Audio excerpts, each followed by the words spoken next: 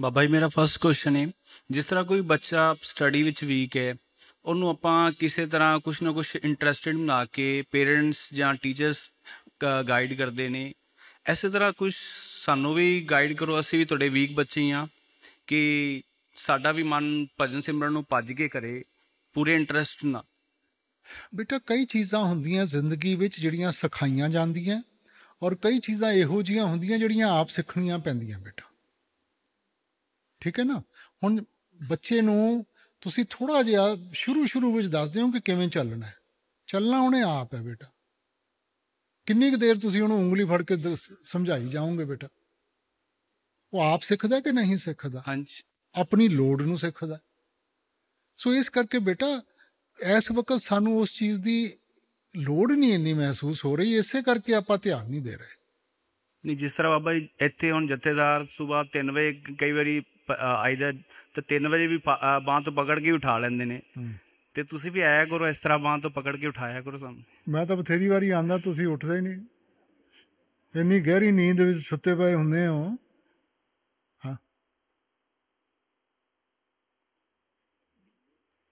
ਮੈਂ ਤਾਂ ਰੋਜ਼ ਇੱਥੇ ਬੈਠਾ ਹੁੰਦਾ। ਤੁਸੀਂ ਵੀ ਕਦੇ ਆ ਜਾਇਆ ਕਰੋ। ਬਾਬਾ ਜੀ ਮੇਰਾ ਸੈਕਿੰਡ ਕੁਐਸਚਨ ਹੈ ਕਿ ਡੇਢ ਸਾਲ ਪਹਿਲਾਂ ਮੇਰੇ ਛੋਟੇ ਬ੍ਰਦਰ ਦੀ ਡੈਥ ਹੋ ਗਈ ਸੀ।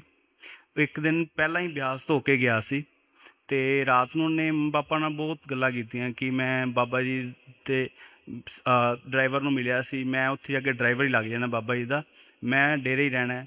ਤੇ ਅਗਲੇ ਦਿਨ ਹੀ ਉਹਦੀ ਡੈਥ ਹੋ ਗਈ ਤੇ ਹੁਣ ਨਾ ਮੰਮਾ ਨੂੰ ਬੜਾ ਹੀ ਚਿੰਤਾ ਰਹਿੰਦੀ ਹੈ ਕਿ ਮੰਮਾ ਕਹਿੰਦੇ ਕਿ ਮੈਂ ਵੀ, ਮੈਨੂੰ, ਮੈਂ ਜਦੋਂ ਡੇਰੇ ਜਾਣੀ ਮੰਮਾ ਕਹਿੰਦੇ, ਮੈਨੂੰ ਇੱਕ ਵਾਰੀ ਕਿਸ ਤਰ੍ਹਾਂ ਦਿਖੇ ਜਾਂ ਕੁਛ ਇਸ ਤਰ੍ਹਾਂ ਦੇਖੋ ਬੇਟਾ ਜਿਸਮ ਔਰ ਆਤਮਾ। ਜਿਸਮ ਤਾਂ ਅਗਨੀ ਦੇ ਸਪੁਰਦ ਹੋ ਗਿਆ, ਖਤਮ ਹੋ ਗਿਆ ਜਿਸਮ। ਤਾਂ ਅਸੀਂ ਕੀ ਦੇਖਾਂਗੇ ਬੇਟਾ? ਜਿਹੜੀ ਆਤਮਾ ਹੈ, ਉਹ ਵਾਪਸ ਪਰਮਾਤਮਾ ਵਿੱਚ ਜਾ ਕੇ ਸਮਾ ਗਈ। ਹੁਣ ਇਹ ਤੁਹਾਨੂੰ ਯਾਦ ਹੈ, ਕਿਉਂਕਿ ਤੁਸੀਂ ਜਿਸਮ ਦੇ ਦਾਇਰੇ ਵਿੱਚੋਂ ਜੇ ਤੁਸੀਂ ਉਸ ਆਤਮਾ ਨੂੰ ਪੁੱਛੋ ਨਾ, ਤੇਰੇ ਮਾਪਿਓ, ਤੇਰੇ ਭੈਣ ਭਰਾ ਤੇਰੇ ਹੋਰ, ਉਹਨੂੰ ਕੋਈ ਅਹਿਸਾਸ ਨਹੀਂਗਾ ਉਹਨੂੰ ਨਹੀਂ ਪਤਾ ਕੌਣ ਹੈ ਮੇਰੇ। ਉਹ ਤਾਂ ਜਿਸਮ ਨੂੰ ਛੱਡ ਗਈ। ਔਰ ਜਿਸਮ ਨੂੰ ਛੱਡ ਗਈ, ਇਹ ਜਿਸਮ ਦੇ ਸਾਰੇ ਰਿਸ਼ਤੇ ਨਾਤੇ ਭੁੱਲ ਗਿਆ ਸਾਰੇ। ਆਪਾਂ ਨੂੰ ਯਾਦ ਹੈ ਪੁਰਾਣੇ ਰਿਸ਼ਤੇ ਨਾਤੇ ਆਪਣੇ ਬੇਟਾ? ਸੋ ਇਸ ਕਰਕੇ ਇਹ ਸਾਡਾ ਦਾਇਰਾ ਛੋਟਾ ਬੇਟਾ। ਜਿਸ ਤਰ੍ਹਾਂ ਬਾਬਾ ਜੀ, ਮੇਰਾ ਬੇਟਾ ਵੀ ਉਹਨਾਂ ਨੂੰ ਕਈ ਵਾਰੀ ਕਹਿੰਦਾ ਹੈ ਕਿ, ਉਹ ਚਾਚੂ ਬਾਬਾ ਜੀ ਕੋਲ ਚਲੇ ਗਏ ਨੇ 5 ਸਾਲ ਦਾ ਜੇ, ਤੇ ਚਾਚੂ ਬਾਬਾ ਜੀ ਕੋਲ ਚਲੇ ਗਏ ਨੇ ਤੇ ਬਾਬਾ ਜੀ ਉਹਨੂੰ, ਉਹਨਾਂ ਦੀ ਪੂਰੀ ਕੇਅਰ ਕਰਦੇ ਪਏ ਨੇ ਤੇ ਮੰਮਾ ਫਿਰ ਥੋੜਾ ਬਹੁਤਾ ਹੌਸਲਾ ਹੋ ਜਾਂਦਾ ਬੇਟਾ ਸਾਰੇ ਹੀ ਮਾਲਕ ਕੋਲੇ ਜਾਣਾ ਹੈ ਆਪਾਂ ਸਾਰੇ ਉਹਦੀਆਂ ਆਤਮਾ ਹੈ।